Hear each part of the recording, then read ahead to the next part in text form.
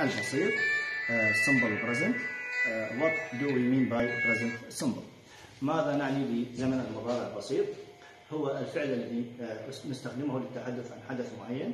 لا يحدث في الماضي بل يحدث الآن في الأوقات الحالية. وهذا الحدث يحدث بتكرار أو عادة أو أنه حقيقة ثابتة. طريقة صياغة الفعل المضارع البسيط. How to form present simple طبعا عندنا طريقتين لصياغة المضارع البسيط.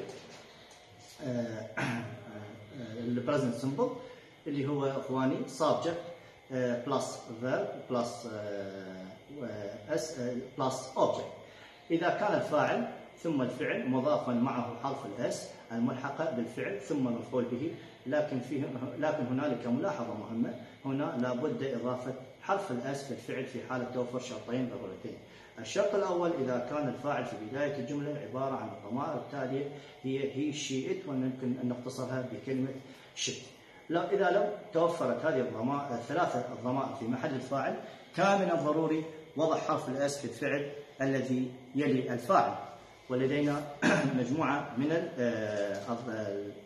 الأمثلة. He sings in his room. She eats the apple. إذا في جميع الأمثلة السابقة لاحظنا وجود الحرف اس مأخوذ ملحوقا بالفعل المضارع. والسبب هو أن الفاعل هو أما هي شي إت أما الضمائر الأخرى فلا تتبع نفس القاعدة مثل we they I you. فإذا نتبع الفاعل يوضع كما هو بدون حرف الأس الشرط الثاني هو إذا كان الفاعل يعود على اسم مذكر أو مؤنث أو جماد أو غير عاقل.